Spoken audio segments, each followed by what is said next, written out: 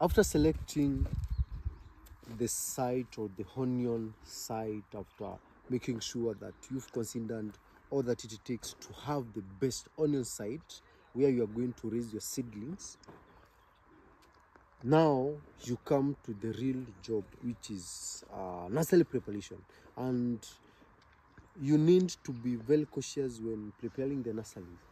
Uh, one the things that you need to avoid um, during nursery preparation is don't do your nurseries where there is a lot of manure. Where there was a heap of manure eh, don't do your nurseries there because at the end of it the seedlings become so much affected by uh, the nitro the high nitrogen in that that place. Also don't do your nurseries in a place where you've uh, you done uh, the crop of the same family in previous cropping avoid that place. So when choosing the, the nursery one thing you need to consider is the soil the digging of the soil. As you can see i've already done uh, the soil has already been dug.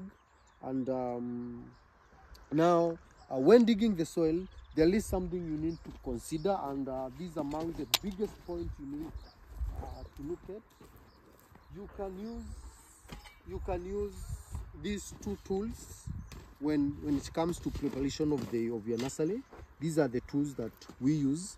Uh we, this fork jembe and the jembe i don't know uh, what how you call them uh, at your place but this is what we use.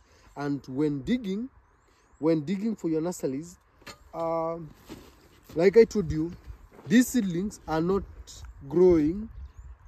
Uh, their root is not growing more than 15 centimeters. So it's between 10 to 15 centimeters. That is where their root is growing so when you do a double digging when you do a double digging of this jembe that means you are you are digging around 40 centimeters.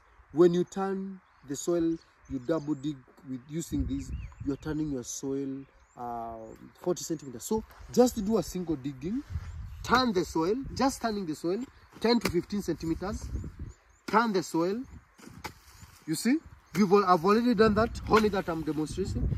Turn the soil 10 to 15 centimeters because that's where the seedling is going to develop its root. And that is the most nutritious part of the soil. That's the part of the soil that carries a lot of nutrient. So turn that that that, that uh, place. If you have manure turn it with manure. Um, then after turning it that where now you come and set your your nurseries. Um, when setting the nurseries uh, one thing uh, i usually do with my nurseries is uh, all my nurseries have a width of around uh, one meter. For example this one here. You see? This one here where i'm tying the loops. From one one uh in but this one is is uh 80 centimeters is not even one meter. This one is 80 centimeters from one one line to the other. The reason why i usually encourage have a, a, a, a, bed wing of not more than one meter is so that when working like when uh, uprooting or when weeding on your nursery or when watering those who will be using manual watering you won't step on top of the nursery. So the wing of the nursery nursery should be very uh, precise should not be more than one meter. Unless you're using other means of weeding your nurseries you're using other means of um, irrigating your nurseries. But it's illegal or it's not allowed to step where the seedlings are the way i'm stepping at the moment to control uh, the weed or to do the irrigation. So you need to consider that when preparing the nursery. Then from there you raise your nursery. You just raise a small heap. Don't raise a big heap. Uh, like for example this one the, the heap that i've list not more than it's around uh, around 15 ce- 10 to 15 centimeters. Raise the heap and you are going to go. You are going to go. For example in this area where we we have uh, we've done we have done the stringing we this is how we usually raise the, our hip. You see? It's bringing the soil that is on the on the on the on the on the on the lower side on top of the bed.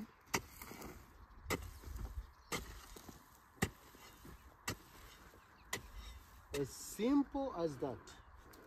That string needs to be tightened. You see? You lace the hip.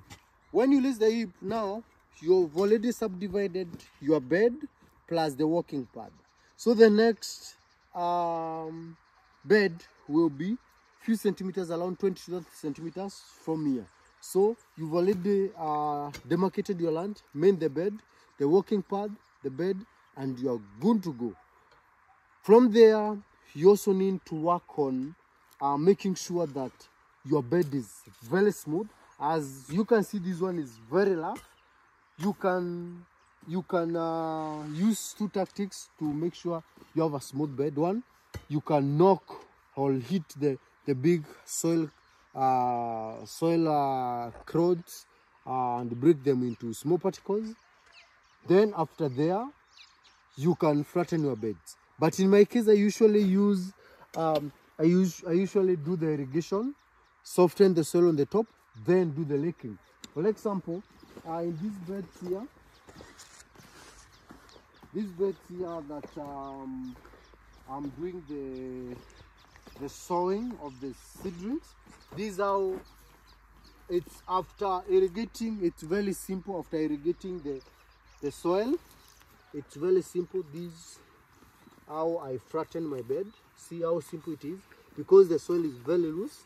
Instead of knocking the, the big crowns, but if you have no water, you can knock them and make sure that uh, your soil is good good to go. So this is how we flatten the beds because we want to to sow the seeds at a very uh, smooth area at a very smooth area. So this is how we do it simple as that. As simple as that. Very simple very simple.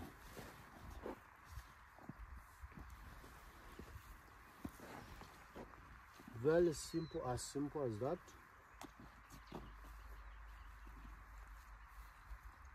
As simple as that. So